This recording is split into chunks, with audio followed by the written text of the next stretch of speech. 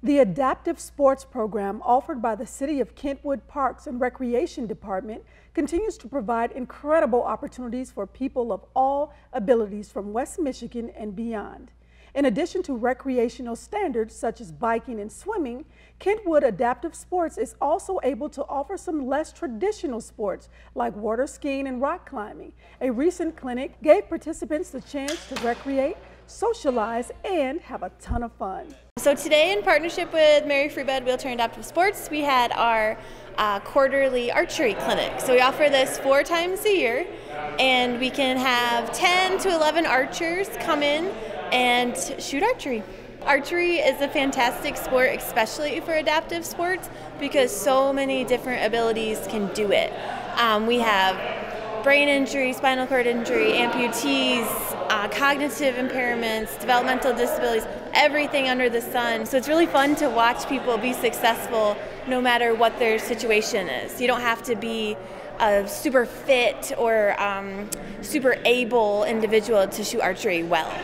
Got the pig. We offer these clinics as like a one day opportunity, and if there's a great response, then we'll offer more opportunities. These community partnerships are everything. So West Michigan Archery is so easy to work with. They're so accommodating. They're so welcoming.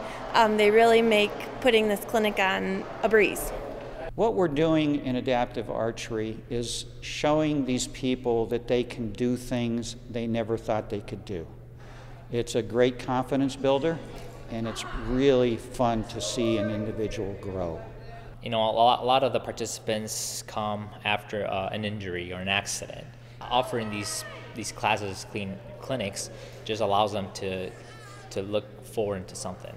Um, to see that they, they can still do it, they can still participate. Jason comes to mind. He um, was in a motor vehicle accident and lost a lot of functioning in his arm, and he uses a mouthpiece really successfully. And as a previous hunter, it's really fun to watch him shoot archery after his accident.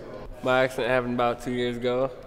I was a big outdoorsman, so I figured I'd come out and give it a try. Oh, I just like to be part of it. It's nice to meet other people that are going through the same thing as you, kind of.